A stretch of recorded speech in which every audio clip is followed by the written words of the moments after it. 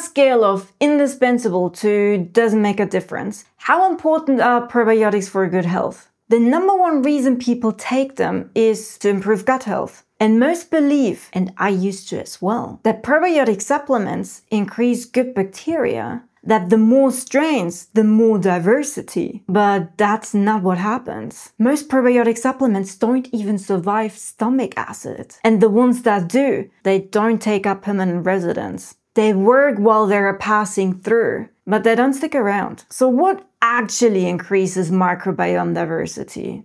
Prebiotics. They're found in plants. Fiber is one of them, but there are many more. And according to the American Gut Project, the best way to increase gut diversity is by eating 30 different plant foods per week. And that's where fermented foods come in, like kimchi or sauerkraut. Unlike supplements, they contain both probiotics and prebiotics, creating perfect conditions for beneficial bacteria to survive longer and actually make an impact. So back to the original question, how important are probiotics? They're a bonus.